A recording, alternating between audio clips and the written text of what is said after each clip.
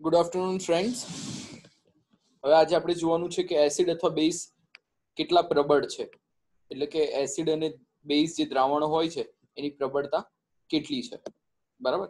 તો આ already topic આપણે જોઈ ચૂક્યા છે, કેટલો પ્રબળ અને કેટલા નિર્બળ હોય છે. આપણે જોયું હતું કે સાત ઉપર હોય, જો પીએચ સાત હોય તો એ કેવું હોય, તટસ્થ હોય. ડાબી તરફ જઈએ એમ એમ એસિડિક સ્વભાવ વધતો જાય. અને જમણી બાજુ જઈએ. એમ એમ બેઝિક સ્વભાવ વધતો જાય. બરાબર? ડાબી તરફ જઈએ, એમ એચ પ્લસ આયનની સાંદ્રતા વધતી જાય અને જમણી તરફ જઈએ, એમ એચ પ્લસ આયનની સાંદ્રતામાં ઘટાડો થતો જાય. તો આ બધી વસ્તુ આપણે ઓલરેડી જોઈ ચૂક્યા છીએ. હવે આપણે આગળ જઈએ. તો આગળ જતા આપણને ખબર પડશે કે એસિડ અને બેઝની પ્રબળતા અનુક્રમે ઉદ્ભવતા એચ પ્લસ અને ઓએચ માઇનસ આયનોની સંખ્યા પર આધાર રાખે છે. આ બધું બી આપણે જોઈ ચૂક્યા હતા. મેં તમને કહ્યું હતું કે ભાઈ જઠર રસ છે એની એક પોઈન્ટ બે એટલે એસિડિક લીંબુનો રસ છે એની બે પોઈન્ટ બે. એટલે એ પણ એસિડિક જ્યારે સાતની નજીક હોય એટલે તટસ્થ. મિલ્ક ઓફ મેગ્નેશિયા એની દસ અને સોડિયમ હાઇડ્રોક્સાઇડનું દ્રાવણ ચૌદ. તો આવી રીતના એસિડની પ્રબળતાની વિશે આપણે ચર્ચા કરી ચૂક્યા છે.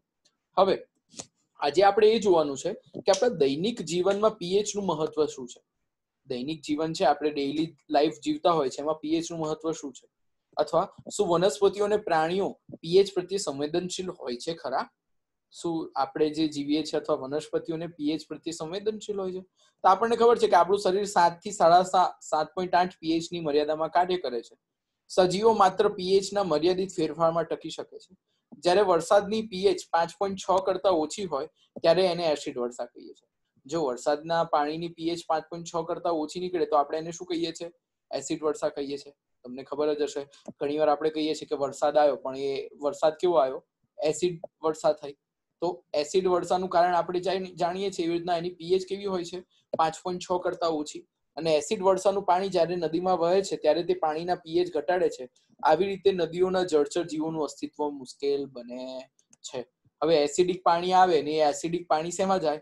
નદીઓમાં જાય, તળાવોમાં જાય, સમુદ્રમાં જાય, ડેમ્સમાં જાય. દરેક જગ્યાએ જો એસિડિક પાણી વહ્યા કરે તો ધીમે ધીમે જે નદીની અંદર જે જળચર પ્રાણીઓ રહેતા હોય, એનું અસ્તિત્વ ધીમે ધીમે મુશ્કેલ બની જતું હોય છે. તમારા બગીચા, હવે આની સાથે સાથે હું તમને બીજું પણ ઘણું કહી શકું. જો કે દૈનિક જીવનમાં પીએચનું મહત્વ બી છે, એનું કારણ એ છે કે તમે તાજમહેલ જોયો હશે. બરાબર? તાજમહેલ જોવા ગયા છો કે નથી ગયા? આજથી દસ વર્ષ પહેલા હું જયારે તાજમહેલ જોવા ગયો ને, આજના તાજમહેલમાં જમીન આસમાનનો ફરક છે. હું તમને બતાવું કેવું થાય છે અત્યારે, જુઓ. પહેલાનો જે તાજમહેલ હતો, જ્યારે હું નાનો હતો, ત્યારે જે જોવા ગયો હતો, ત્યારે જે તાજમહેલ દેખાતો હતો અને અત્યારના તાજમહેલમાં જમીન આસમાનનો ફરક છે. જો કઈ રીતે? તમને હું બતાવું. પહેલા જ્યારે હું નાનો હતો, ત્યારે તાજમહેલ કંઈક આવો દેખાતો હતો. એકદમ સફેદ કલરનો. એ જ તાજમહેલ અત્યારે પીળો પડી ગયો છે. આ તાજમહેલ પીળા પડવા પાછળનું એક જ કારણ છે કે એસિડ વર્ષા થાય છે. એસિડ વર્ષા થવાને કારણે જે પથ્થર, જે શાહજહાએ તાજમહેલ બંધાવ્યો હતો એકદમ સફેદ કલરનો હતો. એ તાજમહેલ આજે કેવો થઈ ગયો છે? પીળો થઈ ગયો છે. એટલે એસિડ વર્ષાને કારણે આવા આવા પ્રોબ્લેમ પણ સર્જાતા હોય છે. એટલે એસિડ રેઇન ખૂબ જ ખરાબ છે, આપણે જાણીએ છીએ એટલે જ્યારે વરસાદના પાણીની પીએચ પાંચ પોઈન્ટ છ કરતા ઓછી હોય, ત્યારે તેને એસિડ વર્ષા કહે છે. અને એસિડ વર્ષાનું પાણી જ્યારે નદીમાં વહે છે, ત્યારે તે નદીના પાણીની પીએચ ઘટાડે છે. આવી નદીઓમાં જળચર જીવોનું અસ્તિત્વ મુશ્કેલ બને છે. સાથે સાથે તમારા બગીચાની માટીની પીએચ શું છે? વનસ્પતિને તેમના સુંદર વિકાસ માટે વિશેષ પીએચ મર્યાદાની જરૂર હોય છે. વનસ્પતિના તંદુરસ્ત વિકાસ માટે જરૂરી પીએચ જાણવા તમે જુદી જુદી જગ્યાએ માટી એકત્રી કરી એકત્ર કરી શકો છો. અને નીચે પ્રવૃત્તિમાં દર્શાવ્યા પ્રમાણે તમે એને નોંધી શકો છો. એટલે તમારે શું કરવાની છે? વિવિધ વિવિધ જગ્યા, એટલે બગીચાની લઈ આવવાની છે, કોઈ ગામડાની લઈ આવવાની છે, તમારી આજુબાજુ કોઈ શહેરો એમાંથી લઈ આવવાની છે. એ બધાની માટીના પીએચની ચકાસણી કરવાની છે. અને પછી તમને ખબર પડશે કે તમારી જે જમીન છે એ એસિડિક છે કે બેઝિક? કારણ કે તમે દરેક જમીનના નમૂના લઈ આવશો અને એને કસનળીમાં મૂકશો અને પછી એની પીએચ તમે માપી શકશો. આપણા પાચન તંત્રમાં પીએચ છે એ પણ ખૂબ જ રસપ્રદ વાત છે. એટલે અહીં અત્યંત રસપ્રદ એ પણ છે કે આપણું જઠર હાઇડ્રોક્લોરિક એસિડ ઉત્પન્ન કરે છે. ઘણીવાર તમે જોયું હશે કે આપણા ઘરે આપણે બહાર જમીને આવીએ, બહાર જમીને આવીએ, પછી આપણને એવી તકલીફ આપણા ઘરના મોટા લોકો કહેતા હોય છે કે બહુ એસિડિટી થઈ ગઈ છે, ભાઈ ઈનો પીવડાવો. કે છે ને? તો એ ઈનો પીવડાવવા પાછળનું કારણ શું છે? તમે બહુ બહારનું ખાધું હોય તીખું તીખું એટલે એ તમારા પાચન તંત્ર એટલે જઠરમાં જાય. જઠરમાં એસિડ ઉત્પન્ન થાય. એસિડ ઉત્પન્ન થાય એટલે ઈનો નાખો એટલે એસિડ અને બેઝ એકબીજા સાથે બે, ભેગો થાય અને ક્ષાર બની જાય એટલે તમને એસિડિટી મટી જાય. તમને ખબર છે ઈનો શું છે? બેઝ છે.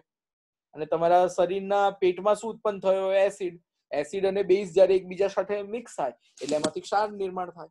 બરાબર? તો જઠરને નુકસાન પહોંચાડવા વગર ખોરાકનું પાચન કરવામાં મદદ કરે છે. અપચા દરમિયાન જઠર ખૂબ જ વધુ માત્રામાં એસિડ ઉત્પન્ન કરે છે, જે દર્દ અને બળતરા કારણ બને છે. આ દર્દથી છુટકારો મેળવવા માટે બેઝનો ઉપયોગ કરે છે, જેને એન્ટા એસિડ કહે છે. આ પ્રકરણના શરૂઆતમાં આવો જ એક ઉપાય તમે સૂચ્યો હશે, આ એન્ટી એસિડ વધારાને એસિડ તટસ્થ કરે છે. મેગ્નેશિયમ હાઇડ્રોક્સાઇડ જે મંદ બેઝ છે, તે આ હેતુ માટે અવારનવાર ઉપયોગમાં લેવામાં આવે છે. એટલે આપણા પંચન તંત્રમાં આ થઈ પીએચની ચર્ચા. પીએચમાં ફેરફારને કારણે દાંતનું સડવું એટલે કે કહેવાય મોઢાની પીએચ પાંચ પોઈન્ટ પાંચ કરતા ઘટી જાય ત્યારે દાંતનો સડો શરૂ થાય છે. દાંતનું ઉપરનું આવરણ જે કેલ્શિયમ ફોસ્ફેટનું બનેલું છે તે શરીરનો સૌથી સખત પદાર્થ છે. એટલે આપણા દાંતમાં જો આપણે ઘણીવાર નથી કહેતા કે રાતે સૂતા પહેલા બ્રશ કરવું જોઈએ. કારણ કે જો દાંતમાં કંઈ ફસાયેલું રહે, તમે રાતે ગુલાબ જાંબુ ને મીઠું મીઠું ખાધું હોય, તો એ દાંતમાં ફસાયેલું રહે અને ધીમે ધીમે દાંતનો સડો શરૂ થાય. એટલે એ શરીરનો સૌથી સખત પદાર્થ છે. જે પાણીમાં દ્રાવ્ય થતો નથી, પરંતુ મોઢાની અંદરની પીએચ પાંચ પોઈન્ટ પાંચ કરતા ઘટી જાય, ત્યારે તેનું ક્ષરણ થાય છે.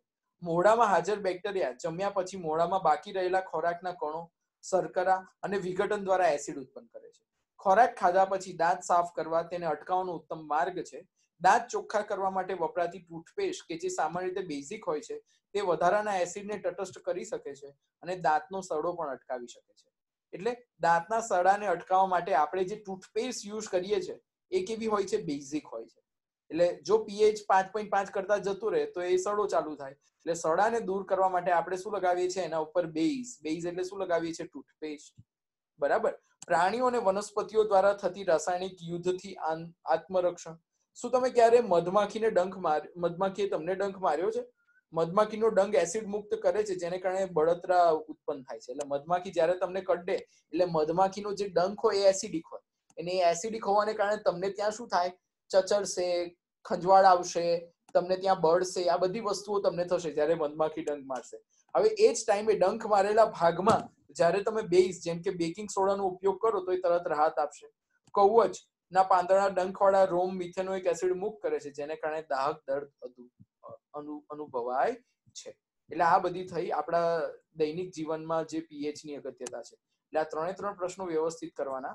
આપણા પાચન તંત્રમાં પીએચ પીએચમાં ફેરફારને કારણે દાંતનું સડવું અને પ્રાણીઓ અને વનસ્પતિઓ દ્વારા રાસાયણિક યુદ્ધથી આત્મરક્ષણ. બરાબર? હવે ચાલો આપણે આગળ વધીએ. ક્ષાર વિશે વધુ જાણકારી મેળવીએ. આપણે અગાઉના પ્રકરણોમાં જોયું છે કે વિવિધ પ્રક્રિયાઓ દરમિયાન ક્ષારનું નિર્માણ થાય છે. ચાલો આપણે તેની બનાવટ ગુણધર્મો અને ઉપયોગિતા વિશે વધારે સમજીએ. તો ક્ષારની પીએચ કહી શકીએ કે પ્રબળ એસિડ અને પ્રબળ બેઝના ક્ષાર પીએચનું સાત ધરાવતા તટસ્થ ક્ષાર હોય. એસિડ હોય તો સાતથી ઓછું બેઝ હોય તો સાતથી વધારે. અને જ્યારે તટસ્થ હોય, એટલે કે સમજી લેવાનું સાત ઉપર છે. બરાબર? બીજી તરફ પ્રબળ એસિડ અને પ્રબળ બેઝના ક્ષાર પીએચનું મૂલ્ય સાતથી ઓછું મૂલ્ય ધરાવતા એસિડિક ક્ષાર હોય છે. અને પ્રબળ બેઝ તેમજ નિર્બળ એસિડના ક્ષાર પીએચ ના સાત વધુ મૂલ્ય ધરાવતા હોય છે. સામાન્ય ક્ષારમાં મળતા રસાયણ. હવે તમે શીખી ગયા છો કે હાઇડ્રોક્લોરિક એસિડ અને સોડિયમ હાઇડ્રોક્સાઇડના દ્રાવણના સંયોગીકરણથી ઉદ્ભવતા ક્ષારને સોડિયમ ક્લોરાઇડ કહે છે. આ એક ક્ષાર છે જેનો ઉપયોગ તમે ખોરાકમાં કરો છો. ઉપયોગ પ્રવૃત્તિમાં તમે ચોક્કસ જોયું હશે કે તે તટસ્થ ક્ષાર છે. દરિયાના પાણીમાં અનેક ક્ષારો ઓગાળેલા હોય છે. આ ક્ષારોમાં સોડિયમ ક્લોરાઇડને અલગ કરેલ છે. વિશ્વના અનેક ભાગોમાં ઘન ક્ષારનું નિક્ષેપન થયેલું જોવા મળે છે. આ મોટા સ્ફટિકો અશુદ્ધિઓને કારણે ઘણીવાર કથ્થાઈ રંગના હોય છે અને ક્ષણિક જેને રોક સોલ્ટ એટલે ખનિક ક્ષાર પણ કહેવામાં આવે છે. ભૂતકાળમાં જ્યારે દરિયાનું પાણી સુકાઈ ગયું ત્યારે ખનિક ક્ષારની ચાદર ઉદ્ભવી. ખનિજની ક્ષાર કોલસાની જેમ રચાયેલા છે. તમે મહાત્મા ગાંધીની દાડી કૂચ વિશે ચોક્કસપણે સાંભળ્યું હશે. શું તમે જાણતા હતા કે આપણા સ્વાતંત્ર્ય સંગ્રામમાં સોડિયમ ક્લોરાઇડ અગત્યનું પ્રતીક હતું? તો હા, તમે જાણો છો કે આપણા ગાંધીજીએ શું કર્યું હતું?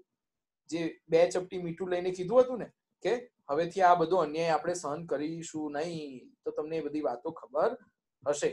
હવે કાલે આપણે જોવાના છે, અહીંયા સોડિયમ હાઇડ્રોક્સાઇડથી જોવાના છે. એટલે જો આપણે એક નાનો ટોપિક આ કરી લઈએ, સામાન્ય ક્ષાર અને રસાયણો માટેની કાચી સામગ્રી.